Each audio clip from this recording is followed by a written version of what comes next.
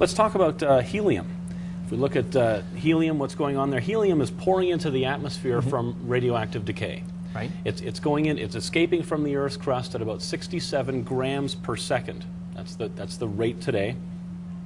Today, there's about 3.71 billion tons of helium in the atmosphere. And most of it's produced by radioactive decay Right. it's, it's as a byproduct. Now, with that amount of helium and at those rates, the atmosphere can only be 2 million years old. So that's that's the most it can account for then. There's one dating method. It would have taken 2 million years to build up the helium today in the atmosphere Right. at the rates that we're measuring today. It's true that every second lots of helium atoms enter the Earth's atmosphere from the radioactive decay of uranium. But it's also true that every second the exact same number of helium atoms leaves the top of the Earth's atmosphere and are lost to space. Thus, the total number of helium atoms in the Earth's atmosphere essentially does not change with time.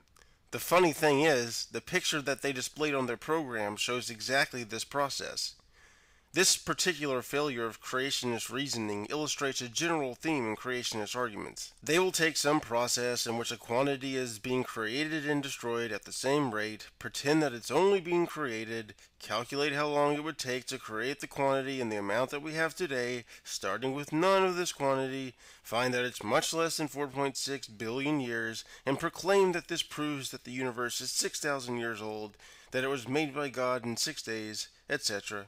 Of course, it's easy to illustrate why this is stupid. For example, the ocean has 1.35 times 10 to the 18 cubic meters of water today. Also, the rate at which water enters the ocean by precipitation and runoff from rivers is 5.03 times 10 to the 14 cubic meters per year.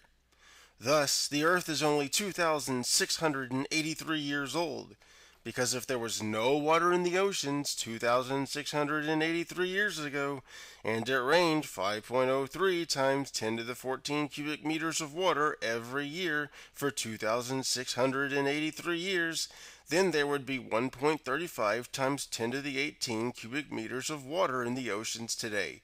Exactly how much there is! It should be obvious what's wrong with this line of reasoning. The amount of water in the oceans doesn't change, because the rate at which the oceans lose water by evaporation is equal to the rate at which the oceans gain water by precipitation.